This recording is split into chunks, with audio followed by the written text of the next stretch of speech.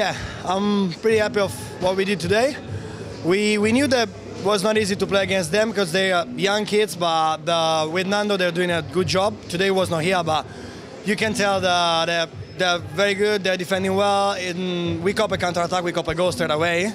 So we had to fix it. it. Was not easy, but anyway, good game and other two points.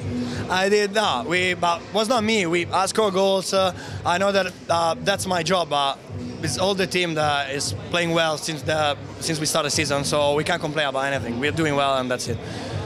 I think that we can.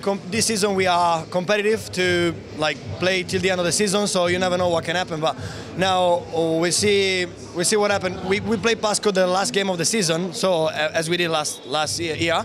So it's gonna be a tough game, but you know it's always good to play against them.